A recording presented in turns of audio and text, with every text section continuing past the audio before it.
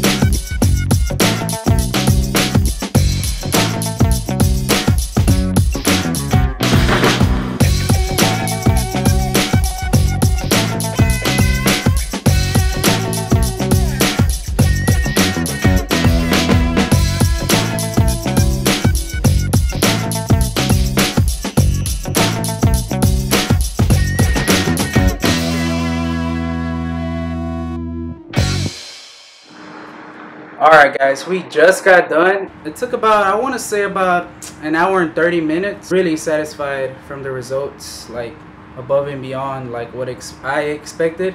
I'll show y'all guys a little trailer coming up. And I really appreciate everybody who's watching this, for real. It really means a lot. A little head start, so I'll let y'all see this.